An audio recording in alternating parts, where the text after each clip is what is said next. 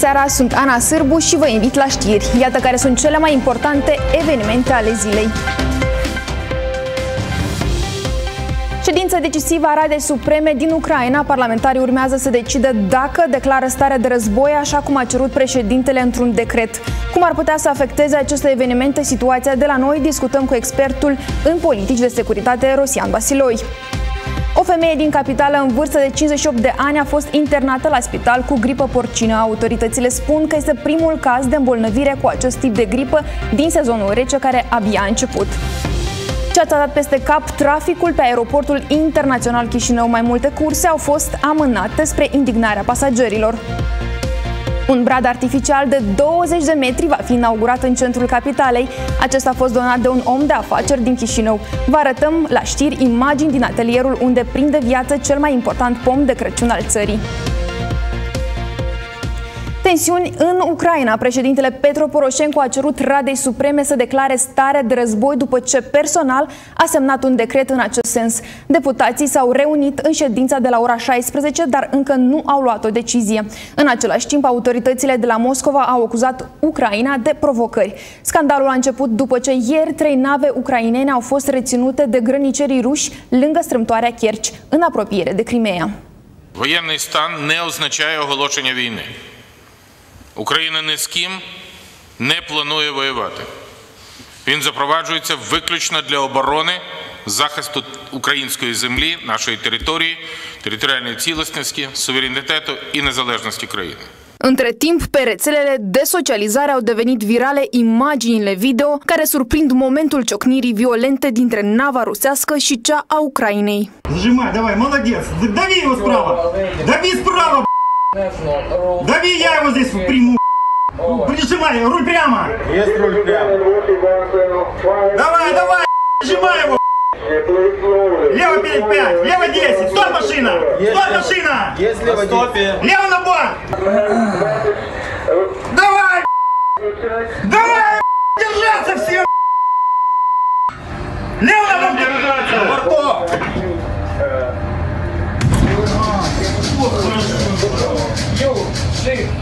Incidentul a trezit nemulțumirea ucrainenilor care noaptea trecută au ieșit în stradă. Zeci de oameni au protestat în fața misiunilor diplomatice ale Federației Ruse de la Kiev, dar și în alte orașe din Ucraina. Aceștia au aprins cauciucuri și fumigene. Mai mulți mascați au intervenit pentru a potoli spiritele. Сказали, разойдемся и разошлись.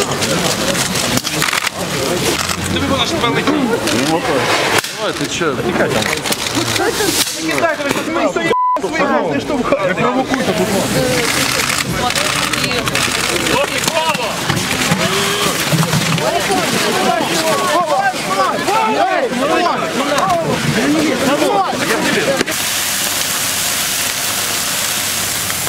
Так. În același timp, oficialii ruși și ucraineni și-au lansat acuzații reciproce pe platformele de socializare. Astfel, în timp ce președintele ucrainean Petro Poroșenko a acuzat Rusia de agresiune, Serviciul Federal de Securitate de la Moscova a emis o declarație prin care afirmă că cele trei nave au intrat ilegal în apele Rusiei, fapt ce i-a determinat pe grăniceri să deschidă focul și să rețină corăbile. Iar pe contul său de pe Facebook, purtătorul de cuvânt al Ministerului Rus de Externe, Maria Zaharova, a spus că întreaga politică a lui Poroșenko și a regimului său este o provocare și o irresponsabilitate care va duce la înrăutățirea situației din Ucraina. Evenimentele din Ucraina au trezit și îngrijorarea autorităților de la Chișinău. La modul normal nu ar trebui să simțim uh, acest impact nemijlocit pe Republica Moldova, dar situația tensionată, deci nu poate să nu, nu poate să ne izoleze de fapt de acest uh, lucru. Și vrem noi sau nu vrem această situație tensionată care ține de securitate în regiune afectează nu doar Republica Moldova, afectează toată această regiune. Ar putea fi afectat în special procesul de soluționare a conflictului transnistrean, susține premierul care acum două zile a întreprins o vizită oficială în Ucraina.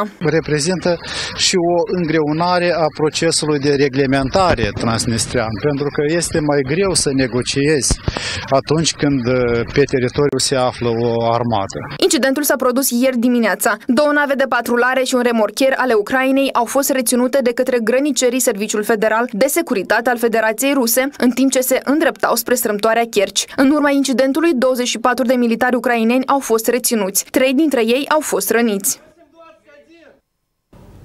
Continuăm subiectul cu invitatul nostru, domnul Rosian Vasiloi, expert în politici de securitate IDIS Viitorul. Bună seara! Bună seara! Explicați-ne, vă rog, ce ce se întâmplă între Ucraina și Rusia poate și este un motiv de îngrijorare și pentru Chișinău?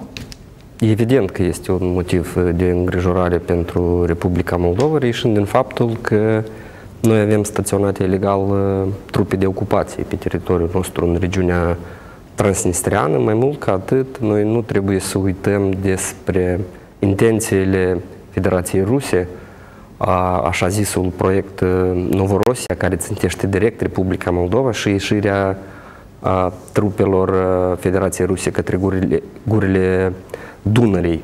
Întrebarea este cât de pregătiți noi suntem și ce măsuri de răspuns am putea avea Uh, după cum spuneam, uh, reișând din faptul că avem uh, trupe de ocupație care se pregătesc pentru orice, numai nu pentru o misiune de pacificare, așa cum încearcă autoritățile nouă să ne impună, dar se pregătesc pentru un război și asta ne arată nouă tematica și legendele acelor exerciții militare care se petrec în regiunea transnistreană.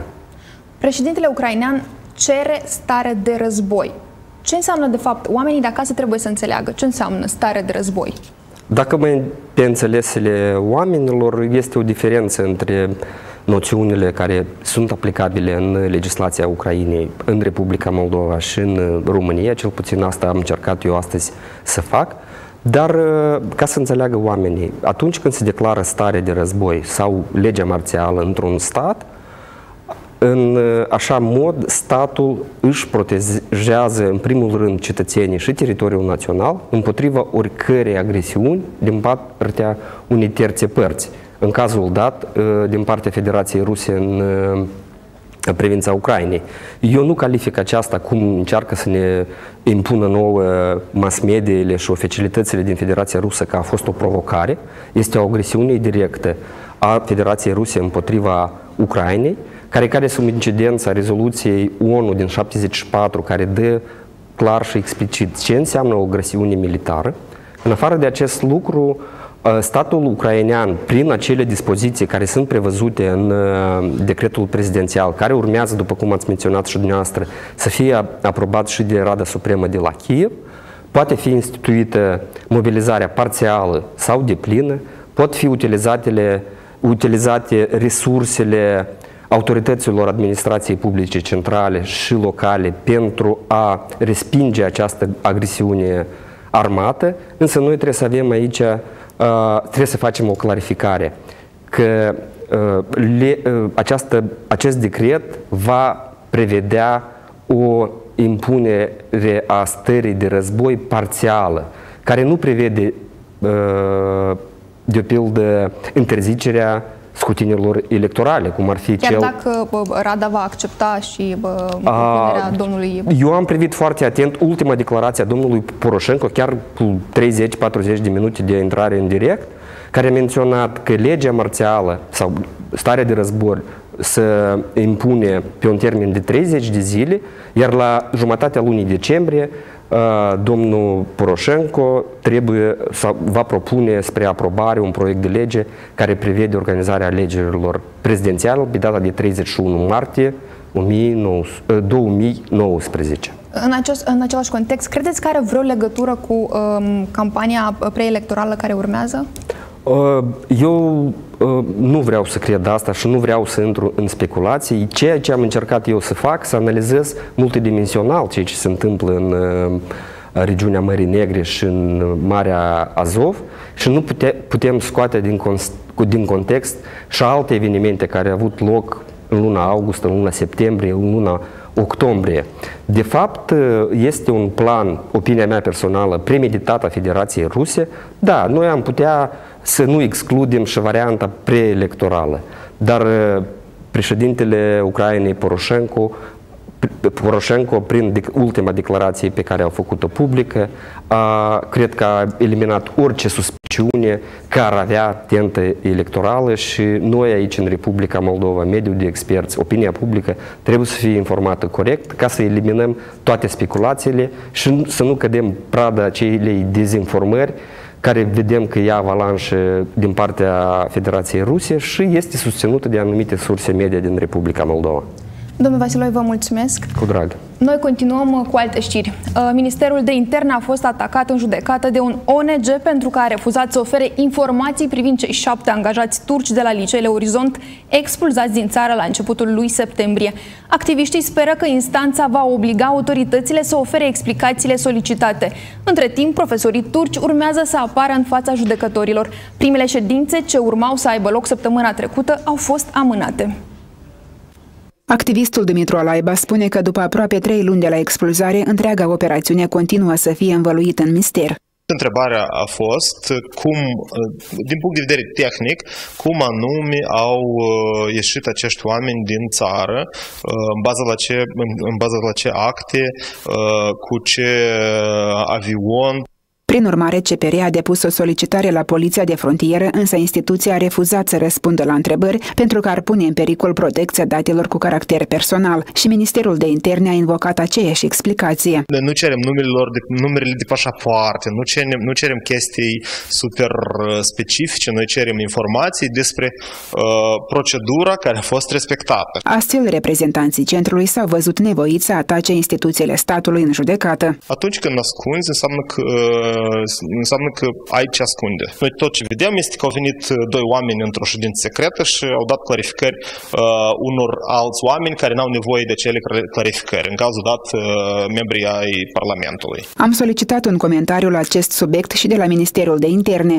Responsabilii din cadrul instituției au refuzat deocamdată să vină cu o reacție. Între timp, în Turcia, trei din cei șapte profesori expulzați așteaptă să compară în fața judecătorilor. Primele ședințe de judecată trebuiau să aibă loc să săptămâna trecută. Acestea însă au fost amânate. Cei șapte cetățeni turci angajați ai rețele de licee private Orizont au fost expulzați din țară de SIS la începutul lunii septembrie. Serviciul de Informații și Securitate a precizat că profesorii sunt suspectați care avea legătură cu o grupare islamistă. Apropiații lor au respins acuzațiile și au declarat că este o comandă politică, în spatele căreia ar sta președintele turc Recep Erdogan. Anterior aflat la Chișinău, acesta a refuzat să ofere comentarii asupra cazului. În capital a fost înregistrat primul caz de gripă porcină. Victima este o femeie de 58 de ani din Chișinău. În prezent, aceasta este internată la Spitalul de Boli Infecțioase Toma Ciorbă, iar starea de sănătate este de gravitate medie. Persoana nu a fost vaccinată contra gripei, precizează autoritățile. Totodată, peste 2700 de persoane din capital au ajuns săptămâna trecută în instituțiile medico-sanitare publice cu infecții respiratorii acute, ceea ce înseamnă cu 14% mai mult decât acum două săptămâni săptămâni. Cei mai afectați sunt copiii care nu au atins încă 4 ani. Autoritățile locale au anunțat că în prezent continuă campania de vaccinare împotriva gripei. Până la sfârșitul lunii octombrie a fost utilizată aproape o pătrime din stocul de vaccinuri. Simptomele gripei porcine sunt asemănătoare gripei sezoniere obișnuite. Astfel, pacientul prezintă febră, tuse, durere în gât, dureri musculare și de cap, frisoane și oboseală. Suplimentar, bolnavul poate acuza diaree și vărsături. În această după-amiază a intrat în vigoare un nou cod galben de precipitații și condiții complicate ale vremii. Avertizarea meteorologilor este valabilă până mâine dimineața ora 6. Se așteaptă lapovițe și ninsori abundente, iar pe unele porțiuni de drum se va depune polei. Inspectoratul General pentru Situații de Urgență atenționează șoferii să fie prudenți. Mâine și poi mâine ar putea să cadă ninsori slabe, însă doar pe alocuri. De miercuri se vor înregistra pe timp de zi temperaturi cu minus. Cei care pornesc la drum sunt îndemnați îndemnați să aibă în portbagaje nisip, lopeți și lanțuri pentru cazuri excepționale. În același timp, conducătorii auto sunt avertizați să nu circule dacă nu au schimbat anvelopele pe cele de iarnă. A fost haos astăzi pe aeroportul internațional Chișinău. Mai multe curse au fost anulate, altele amânate, iar în tot acest răstimp zeci de oameni au fost nevoiți să aștepte ore în șir pentru a zbura spre destinația aceasta. Pasagerii sunt nemulțumiți pentru că au stat aproape toată ziua în aeroport și nimeni nu le-a spus când ar putea decola. Această femeie urma să zboare în Africa pentru că cursa i s-a amânat, femeia a fost nevoită să stea în aeroport mai bine de 9 ore. S-a amânat de câteva ori ruta, s-a spus întâi la peste o oră, după aia încă peste o oră jumate, după aia încă peste două ore. Nu ni s-a spus nimic absolut nimic. Eu am încercat să aflu informația asta și v-am spus că doamna s-a adresat foarte urât la noi s-a dezis de, de orice răspuns și ne-a spus că nu știu, nu știu, așteptați în rând. Iar această familie așteaptă de la ora 7 dimineața să ia cursa spre Turcia. Nu știu însă când vor ajunge. Мы сидели вот с утра, с 7 утра мы здесь. Сказали, либо сегодня вечером, ночью, либо завтра утром. Это тоже неизвестно. Bărbatul ne spune că a fost nevoit să ducă copiii la rude, întrucât nimeni nu le spunea când vor decola. Ну, детей я сейчас отправил домой к сестре, Чтобы они тут, что приходится много ждать. Я буду сидеть ждать здесь, пока билеты не поменяю. Мы будем ждать, стоять в очереди, будем добиваться, чтобы поменять билет, потому что мы должны домой лететь. Oamenii spun că vor aștepta cât este nevoie și sunt gata să plece chiar și cu cea mai apropiată rută, doar să ajungă cât mai repede acasă. Între timp, responsabil de la aeroport le recomandă pasagerilor să se adreseze la compania avia de unde au procurat bilete și care operează zborul. În acest caz le recomandăm pasagerilor să se adreseze companiilor care operează cursa pentru a afla când pot efectua plecarea sau sosirea în aeroportul din Chișinău. Săptămâna a început cu prezentarea unui nou sondaj de opinie realizat de data aceasta de către Asociația Sociologilor și Demografilor din Moldova. Potrivit studiului, patru partide ar accede în Parlament. Este vorba de PSRM, PDM, PAS și Platforma DA. În topul încrederii în politicieni, Igor Dodon ocupă prima poziție. Președintele țării este urmat de premierul Pavel Filip, iar pe locurile 3 și 4 s-au plasat Maia Sandu și Andrei Năstase. Și acest sondaj a arătat că Partidul Socialiștilor este preferatul respondenților. Pentru această formațiune a optat circa 33% dintre cei intervievați. Partidul Democrat ar accede în Parlament cu un scor de 11,5%, iar PAS și DA ar fi votate de aproximativ 11 și respectiv 10% dintre alegători. Rezultatele nu diferă mult față de datele prezentate în sondajul realizat de Institutul Republican Internațional acum 10 zile. Datele sondajului mai arată că circa 18% dintre respondenți nu știu pentru cine să voteze voteze și mai puțin de jumătate dintre alegători sunt siguri că vor participa la vot. În topul personalităților politice care se bucură de cea mai mare încredere din partea cetățenilor se menține Igor Dodon, cu circa 26% din totalul celor chestionați. Șeful statului este urmat de prim-ministrul Pavel Filip, care a acumulat 8% dintre opțiunile respondenților. Pe pozițiile 3 și 4 se regăsește lidera PAS și președintele platformei DA.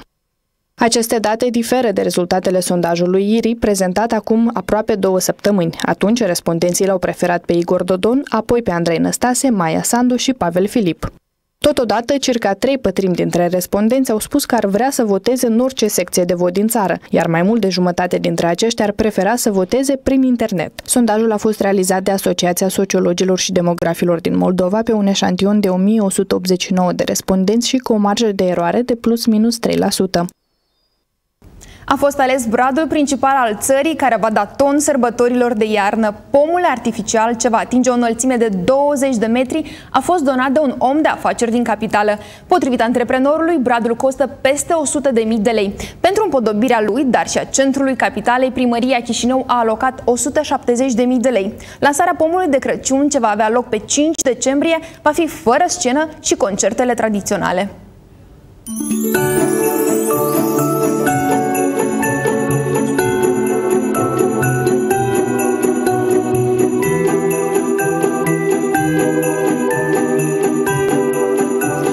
așa o să arate pomul de Crăciun din piața Mare Adunări Naționale cu un diametru de 8 metri și o înălțime de 20 de metri. Timp de câteva săptămâni, angajații companiei care au donat pomul de Crăciun primăriei Chișinău au muncit de cuzor pentru ca pe 1 decembrie să fie finalizate lucrările. Мы хотим, чтобы в городе стояла красивая елка, И самое главное, это то, что она будет экологичная. Для того, чтобы радовать людей на Новый год, нам не придется портить природу. Încă puțin și principalul brad al țării va fi gata. Zilnic în atelierul fabricii mai mulți angajați muncesc cu elan. Pomul de Crăciun va avea forma unui con, iar la bază va avea o carcasă din 3 tone de fier. Bradul va fi făcut din peste 2000 de ramuri care sunt produse tot pe loc. Елка будет изготовлена из металлического каркаса. Основание ее это металлический каркас, а снаружи она будет обшита вот такими э, ветками из искусственной хвои. Эту искусственную хвою мы производим у нас на производстве. Э, ветка выполняется, значит, она сделана полностью, это ручная работа.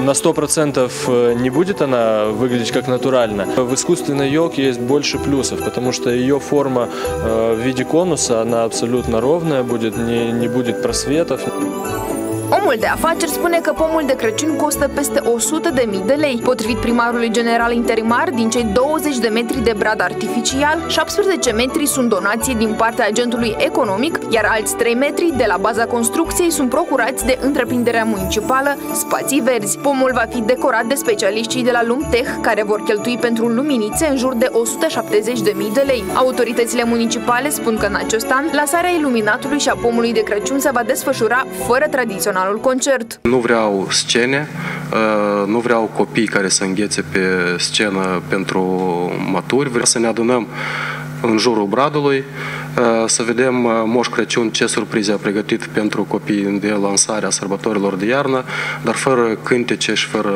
fără dansuri pe scenă. Pomul de Crăciun are 2 ani garanție, dar cel mai probabil acesta va putea fi folosit chiar și până la 5 ani. Bradul va rămâne în proprietatea primăriei municipiului Chișinău. Anul acesta este prima dată când în capitală va fi instalat un brad artificial. Primăria Chișinău a luat această decizie în urma unui sondaj online efectuat printre chișinăuieni.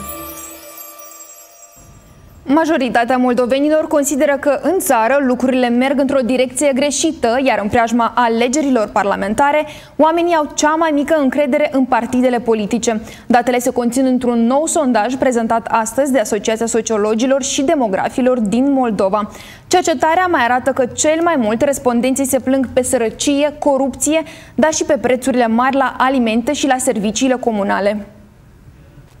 Întrebați în ce direcție merg lucrurile în țară, majoritatea respondenților spun că aceasta este una greșită. Doar 12% cred însă că direcția este corectă. Am vrut să vedem totuși ce înțelege populația pe direcția greșită.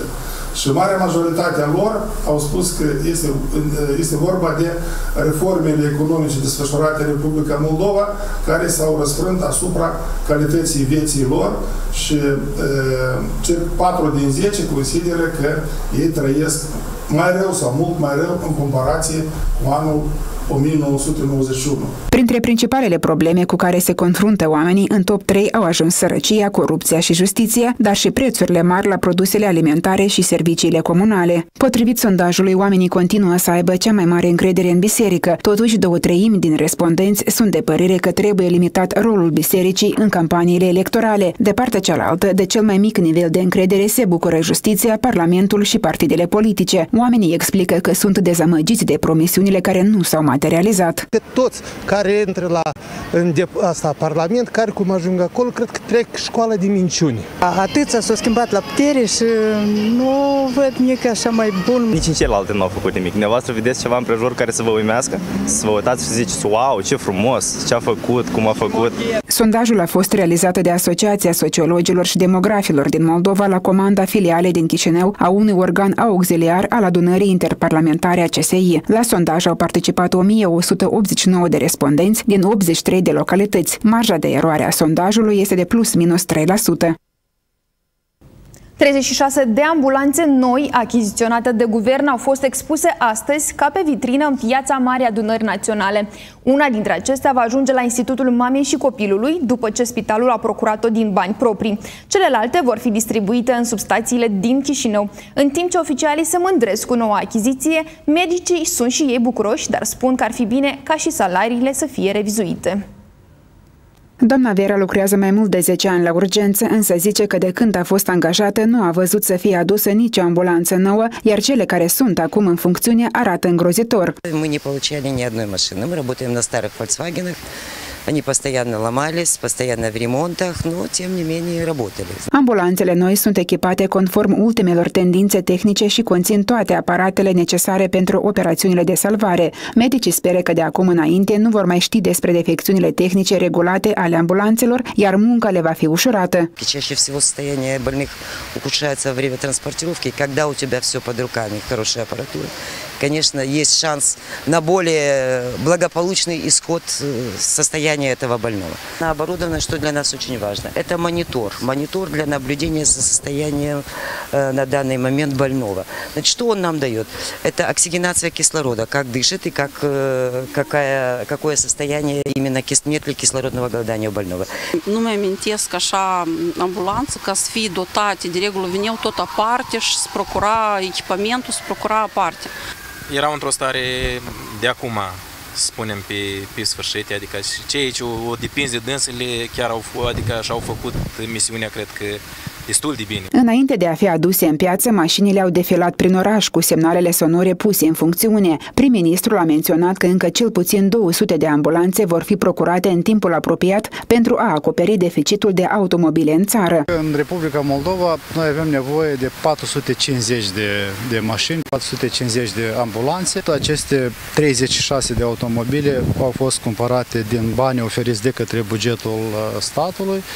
Pare mi se 74 4 de mii aproximativ de, de euro costă o, o mașină. În buget sunt prevăzuți bani și pentru reparația mașinilor în caz de necesitate. Declarația a fost făcută de Ministra Sănătății după ce săptămâna trecută mecanicii de la un service auto au postat pe o rețea socială un video în care arată starea dezastruoasă a unei ambulanțe a spitalului de urgență. Unele piese erau legate cu sârmă, iar sistemul de frânare era defect. Facem de muz acele ambulanțe care sunt cu termenul expirat și nu mai pot fi utilizate deja uh, și în locul lor vor fi aceste ambulanțe. Deci sunt mașini uh, Mercedes, cum a spus domnul prim-ministru, ne dorim puțină Germania în Republica Moldova. Din Republica Moldova, dar salariile medicilor când vor fi ca cei din Germania? Uh, sunt acum în revizuire. Am vă 4.000. Salariul cam trebuie de ridicat. Măcar vreo 500 de euro. Măcar. Este suficient?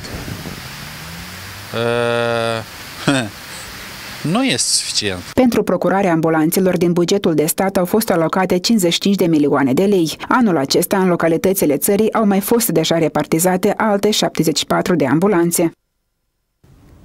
Încă o încercare a autorităților municipale de a schimba la față renumita piață centrală din Chișinău. Administrația acestea a prezentat în cadrul ședinței primăriei un plan de dezvoltare a uneia dintre cele mai colorate zone din capitală. Potrivit documentului, în zona pieței vor apărea aproape 200 de locuri de parcare cu plată, iar la intrare va fi amenajată o zonă specială pentru automobilele ce aduc marfa. Proiectul, valoarea căruia încă nu a fost estimată, urmează să fie aprobat de către Consiliul Municipal. Parcări cu plată ar urma să apară pe strada armenească, Mitropolit Varlam și Tighina. Oamenii care trec zilnic prin apropiere spun că este nevoie stringentă de o parcare pentru vizitatorii pieței. Este nevoie, nu. Se știe parcare, mai au mașini, sau pe stradă, n-au unde. Oamenii n-au pe unde merge. E rău. E foarte E foarte rău. Deci n-ai cum trece. Da, și încă tare cât și piața, atâta parcare trebuie. Șoferii care parcau în apropiere de piață au fost mai scumpi la vorbă, dar au menționat că ar fi gata să plătească pentru un loc amenajat în care să-și lase mașina. Ați fi gata să, să plătiți și bani dacă ar fi o parcare cu plată? Da. Dăm și bani numai să fac, că totdeauna amenzi plătim și banii totdeauna îi dăm. Administrația pieței centrale propune și amenajarea unei zone speciale pentru automobilele ce vor descărca marfa. Aceasta va fi amplasată pe strada Varlam, unde este intrarea în piață. Și gheretele vor fi schimbate, cele vechi urmând să fie înlocuite cu altele noi. În uh, timp apropiat este ideea de a schimba în mesele care de acum au peste 35-40 de ani, mesele din zona fructelor și zona legumelor, în ceva mai corect. Schița proiectului urmează să fie elaborată în câteva săptămâni de Chișinău Proiect, după care va fi stabilit și costul final al lucrărilor de modernizare. Totul depinde de susținerea Consiliului Municipal, câți bani vor fi alocați, inclusiv pentru dezvoltarea pieței. Totul depinde de suportul Consiliului Municipal, dacă vor susține viziunea respectivă. Uh, pentru, pentru noi este important să curățim zona pe perimetru a pieței centrale. În piața centrală sunt amplasate peste 700 de gherete și peste 4.000 de locuri de vânzare. Venitul anual al întreprinderii municipale este de 10.000 de milioane de lei. Anterior, în 2010, autoritățile capitale au mai încercat să modernizeze piața. Atunci, pe teritoriul acesteia urma să apară noi centre comerciale, hale modernizate, parcări supraetajate și subterane. De-a lungul anilor, piața centrală din Chișinău a fost inclusă și în câteva topuri internaționale. Turiștii au recomandat-o drept un obiectiv care trebuie vizitat neapărat atunci când ajung la Chișinău. Cei doi adolescenți care au fost găsiți fără suflare după ce în locuința lor s-a produs un incendiu au fost de fapt omorâți. Aceasta este versiunea de bază investigată de procurorii raionului Hâncești care au deschis un dosar penal pentru omorul a două persoane. Potrivit procurorului care anchetează cazul, pe corpurile victimelor au fost găsite urme de moarte violentă. Anchetatorul refuză să spună dacă a fost identificat și un suspect. Tragedia s-a produs ieri în satul Mereșeni din raionul Hâncești. Doi adolescenți, o fată și un băiat au fost găsiți fără suflare după ce casa în care se aflau a luat foc. Victimele aveau 15 și respectiv 17 ani. Un alt tânăr a ajuns în stare gravă la spital. Dezastrul în Italia, provocat de ploile torențiale, continuă. O mașină a fost pur și simplu înghițită pe o șosea după ce pământul s-a surpat și s-a făcut o gaură în asfalt. Când pompierii au adus-o la suprafață, înăuntru nu era nimeni. O sursă mass media scrie că, potrivit unor martori, șoferul ar fi încercat să iasă din vehicul, dar ar fi fost luat de viitură. Informația însă nu a fost confirmată de către autorități.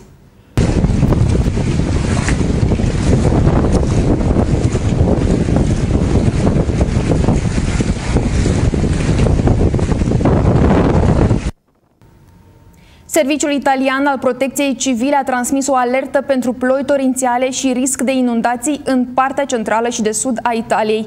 Nordul Italiei și mai ales regiunea Veneto a fost afectată la începutul lunii curente de ploile însoțite de vânt extrem de puternic. Dezastrul a făcut 29 de victime, a distrus zeci de hectare de pădure și a inundat mai multe locuințe. Și Veneția s-a confruntat cu una dintre cele mai mari creșteri a nivelului apei din istoria sa recentă, iar rafalele de vânt au atins viteze chiar și de 180 de km pe oră.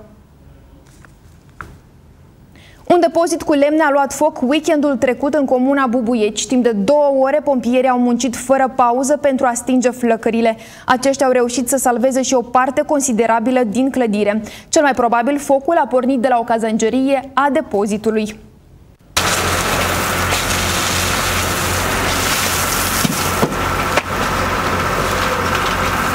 Ajunși la fața locului, pompierii au stabilit că o cazengerie a depozitului de 40 de metri pătrați era inundată cu fum dens. Salvatorii au reușit să evacueze și o butelie de gaz până ca aceasta să nu provoace o explozie. Am primit apelul, precum că Comuna Bubuieci arde un depozit de lemne la fața locului. Ne-am deplasat cu trei autospeciale.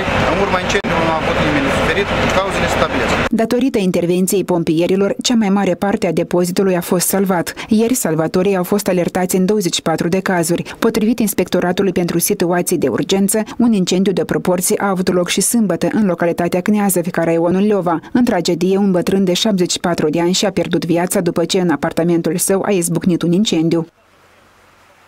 Șoferul din Bălți, care a devenit cunoscut după ce și-a anunțat propria moarte în urma unui pariu că ajunge spre Chișinău în 40 de minute, a fost iarăși reținut de poliție. De data aceasta, tânărul a fost observat deplasându-se neadecvat în traficul rutier, iar când a fost somat să oprească, a accelerat. Oamenii legii au fost nevoiți să-l scoată forțat din mașină și să îl încătușeze.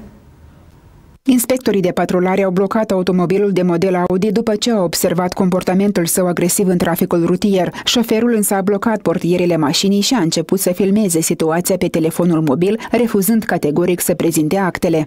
Documente выходим из машины, господин водитель. Документы предоставьте. Вы обязаны предоставить документы. Если я вам сказал, что вы должны выйти, значит вы должны выйти из машины.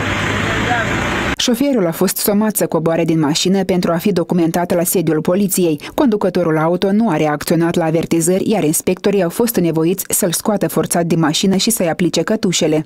Давайте выходите с машины, господин водитель. Выходи с машины. Выходи с машины. Șoferul s-a dovedit a fi tânărul de 20 de ani care în luna august curent a postat pe o rețea socială că a pariat să parcurgă traseul Bălți-Chișinău în doar 40 de minute. Eu, ребята, всем доброй ночи. Поспорил со своими пацанами, что за 40 минут доеду до Кишунева.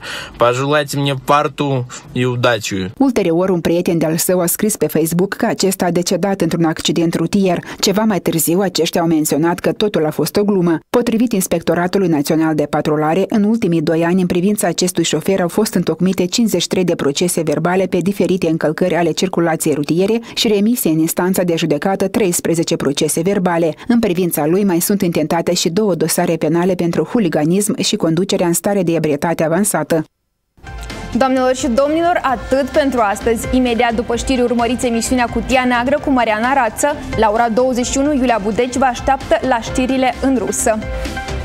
Dacă ați filmat imagini interesante, le puteți trimite pe tv8.md, iar noi le vom transforma în știre. Iar dacă vreți să ne spuneți o noutate, puteți suna la numărul de telefon afișat pe ecran.